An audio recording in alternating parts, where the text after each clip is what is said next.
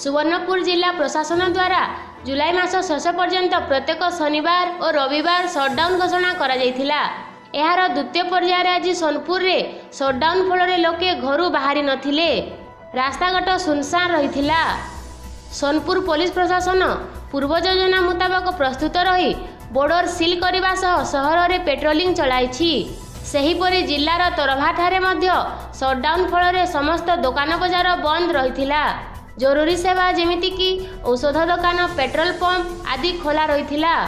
Police କର୍ମଚାରୀମାନେ ତରଭାକୁ ପ୍ରବେଶ ଦ୍ୱାର ନମସ୍ତେ ଗେଟ୍ଠାରେ ଜଗି ରହିଥିଲେ।